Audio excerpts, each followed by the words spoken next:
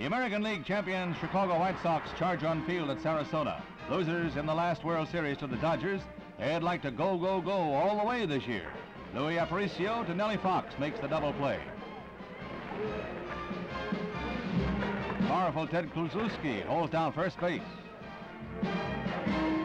Manager Al Lopez and part owner Hank Greenberg watch the mound staff limbering up. Southpaw Billy Pierce. Old reliable Early Wynn. Turned 40 this year. Sharpening up batting reflexes, Sherm Lollar. Al Smith. And Big Klu, a strong factor in White Sox dreams of glory. At Vero Beach, the Dodgers aim to keep the Diamond Crown. Under manager Walt Alston's eagle eye, and they're hard at work ironing out those winter kinks. Don Drysdale, a 17-game winner in 59. Johnny Podres, Los Angeles stalwart southpaw. Larry Sherry, one-man sensation of the World Series. Plenty of mound strength and an effective infield.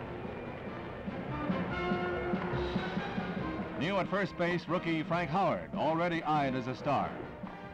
Behind the plate, John Roseboro.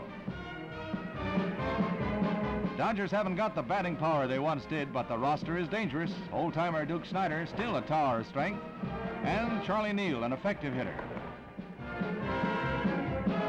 hitter Rip Repulski and Wally Moon, pacemakers for 1960.